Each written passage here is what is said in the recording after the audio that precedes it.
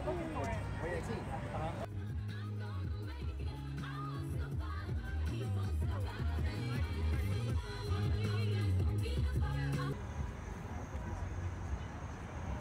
Um, well, you know, our teachers spend almost as much, if not more, time with our kids. Um, and they need to know that the parents are backing them. They need to know that the students are backing them, that we all love them and support them.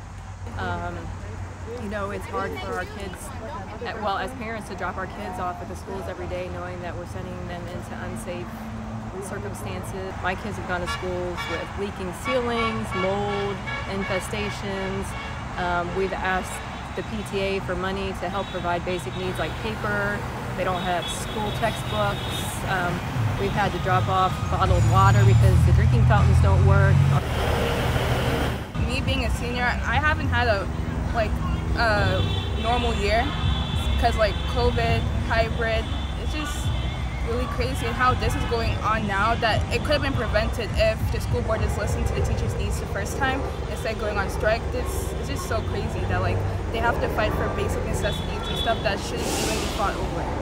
Every day they come and teach us and show us and help us grow as people. So it feels like it's our duty to come and support them when they need it most to help us get the best education that we can get.